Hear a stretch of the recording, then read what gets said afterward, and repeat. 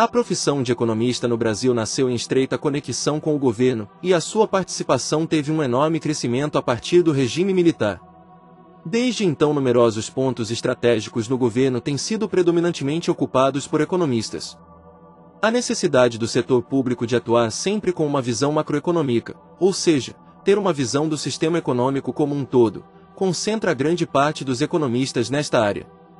Isto tanto no nível federal, quanto estadual e municipal. Seu objetivo é examinar como funciona o setor público em uma economia de mercado, analisando quais funções o governo deve exercer e comparando isso com a sua real situação.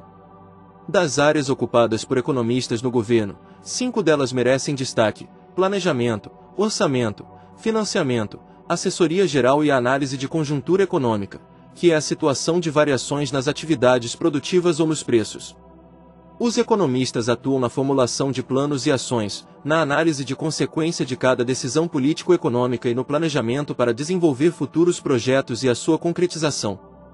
No campo federal, a maior parte dos economistas está nos Ministérios da Fazenda e do Planejamento, no Banco Central e nos ministérios setoriais. Para conquistar a vaga, precisa estar bem informado sobre o que acontece na economia do país. O trabalho é sugerir medidas, apurar resultados e avaliar índices.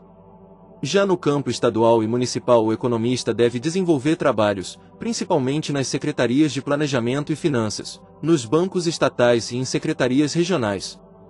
Nas demais áreas, ele avalia o interesse e a vantagem de financiamentos e identifica as melhores oportunidades de investimentos. De todas as atividades que podem ser exercidas por um economista, talvez a de maior destaque esteja no setor de planejamento das políticas governamentais, que tem como objetivo obter melhorias nas condições de vida da população. Assim, no setor público, o trabalho do economista exige cautela, pois cada análise econômica provoca também impactos políticos e sociais em um país.